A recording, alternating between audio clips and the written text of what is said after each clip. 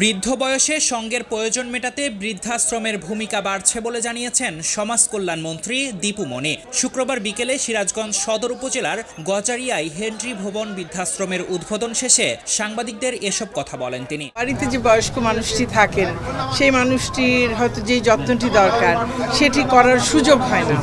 এবং তাতে দুশ্চিন্তা বাড়ে তাতে অনেক সময় তিক্ততা বাড়ে, অনেক রকম সমস্যা হয়। তো আবার অনেকের আছে যে হয়তো ছেলে মেয়ে বাইরে চলে গেছে, বাবা মা বয়স্ক হয়ে গেছেন, বাড়িতে দেখবার কেউ নেই। তো এরকম অনেক মানুষ থাকেন, অনেক রকম বাস্তবতা আছে।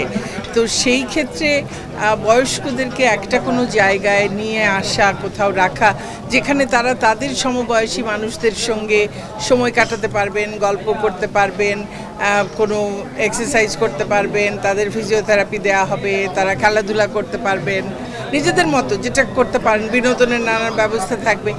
সেটা করলে তারা কিন্তু শারীরিক, মানসিকভাবেও অনেক বেশি ভালো থাকবে।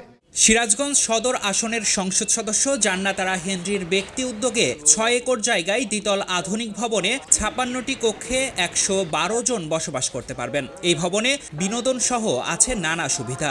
এর সামনে সৌন্দর্য বর্ধন পুকুর সহ আছে পার্ক সুবিধাও।